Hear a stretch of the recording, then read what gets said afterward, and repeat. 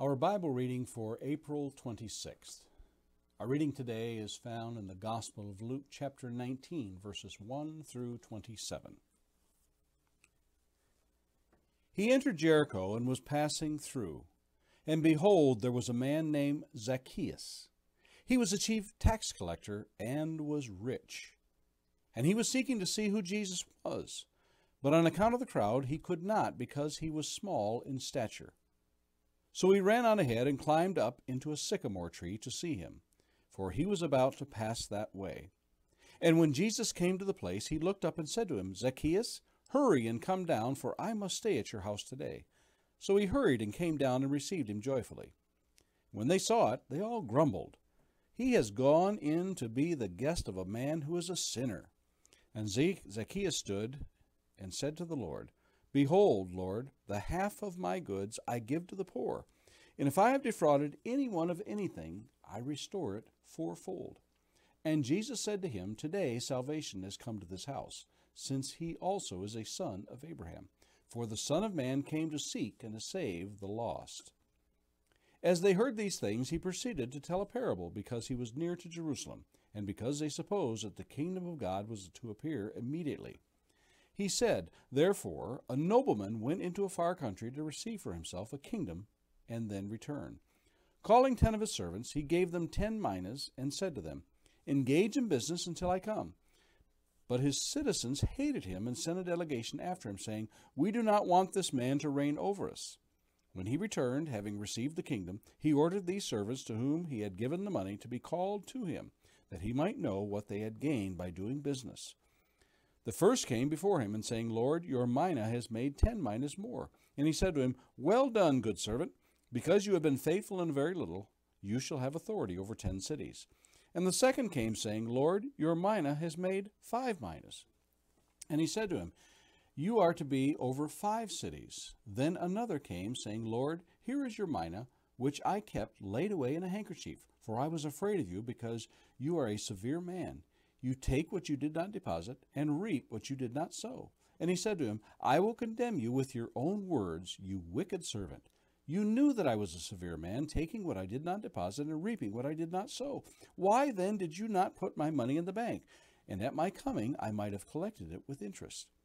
And he said to those who stood by, Take the mina from him and give it to the one who has ten minas. And they said to him, Lord, he has ten minas. I tell you, that to everyone who has, more will be given, but from the one who has not, even what he has will be taken away.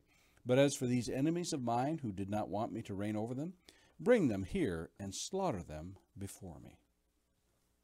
Some thoughts on today's reading. It is said when a child imitates a parent that in their ways of their behavior, good or bad, that the apple doesn't fall far from the tree. When children follow after their parents in manners of disposition, we find this true. When a child grows up and displays acts of kindness, just as the parents have done, we know that the influence of the parent has taken hold. Quite the opposite can be true as well. If a child shows the same characteristics of anger and short temper in the way a parent does, this shows us that the door swings both ways, so to speak, with good and not so good mannerisms. Our passage today tells the familiar story of Zacchaeus the tax collector. Jesus recognizes a peculiar faith in this man by the efforts he makes to see the passing crowd of which the Savior is a part. Jesus invites himself to dinner, of which Zacchaeus gladly receives him.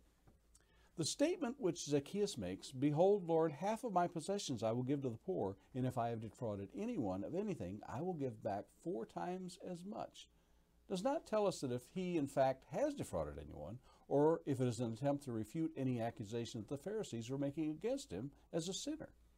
What we have is evidence that Zacchaeus had heard Jesus speak and had responded with righteous living. Romans 10:10 10, tells us, "For with the heart man believes, resulting in righteousness, and with the mouth he confesses, resulting in salvation."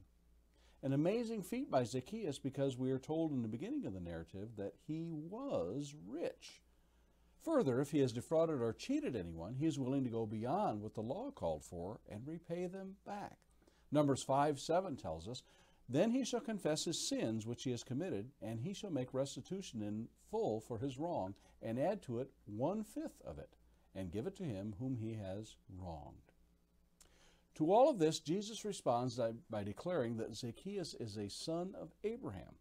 Like Abraham, Zacchaeus acts by faith, and as such, salvation has come to his house.